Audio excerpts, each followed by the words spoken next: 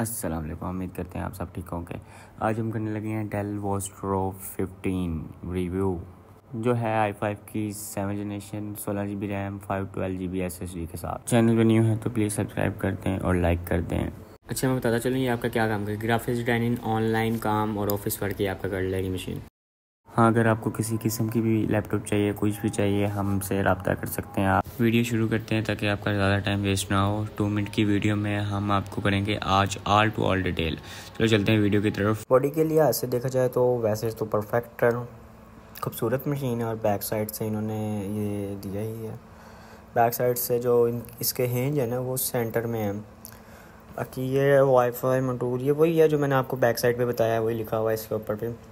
बाकी जो इसका बैटरी बैकअप है वो बैटरी बैकअप ये आपको देता है हम्म, दो से ढाई घंटे मल्टीमीडिया बाकी आम यूज़ पे, जैसे ऑफ़िस यूज़ हो गया इंटरनेट हो गया ब्राउजिंग कर लिया, कुछ भी कर लिया, उस पर आपका निकाल देगा, चार, साढ़े चार घंटे ईजिली निकाल लेगा क्योंकि बात करें तो बैकअप मेरे हिसाब से सही है, क्योंकि लैपटॉप निकालता ही इतना ही कौन सा मोबाइल है?